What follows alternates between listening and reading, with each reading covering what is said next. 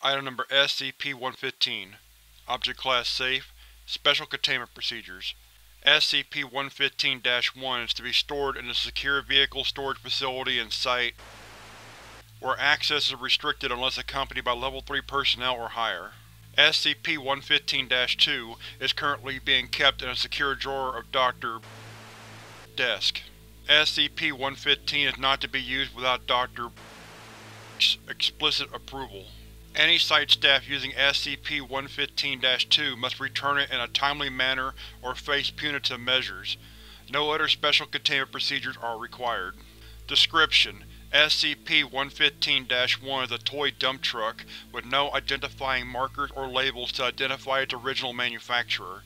However, unlike regular toy dump trucks, SCP-115-1 weighs as much as the actual vehicle it represents, roughly 90 tons.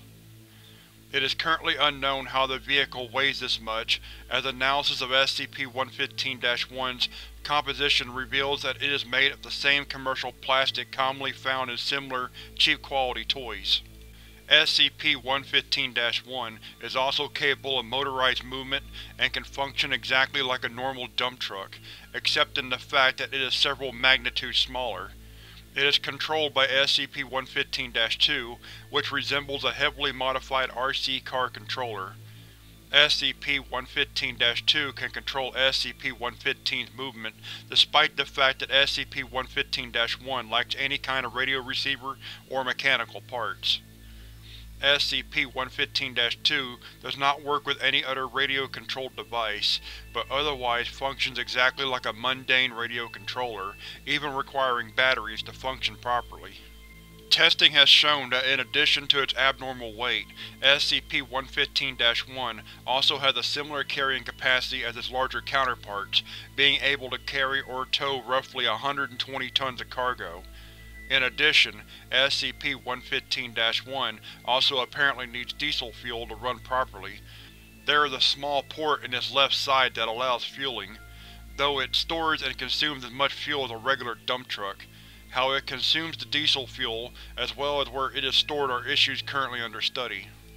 SCP-115-1 was originally found in a construction site in where workers attempted to move it, but found the task impossible due to the fact that SCP-115-1 weighs 90 tons.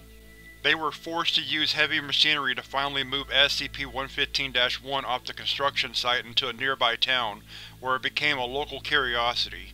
Agents and discovered SCP-115-1 and found SCP-115-2 at the same construction site.